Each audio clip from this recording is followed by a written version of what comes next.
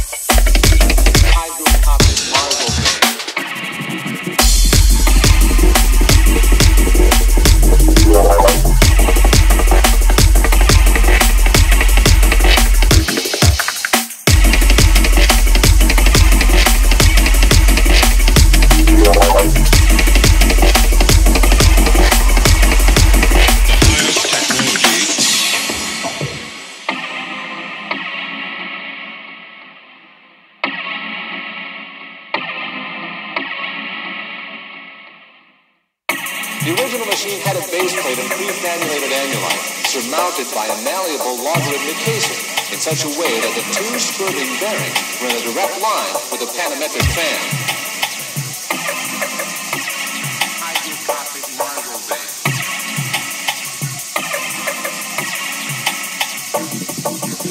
The lineup consisted simply of six hydrocoptic marzlevanes, so fitted to the ambifacient lunar wane shaft that side was effectively prevented.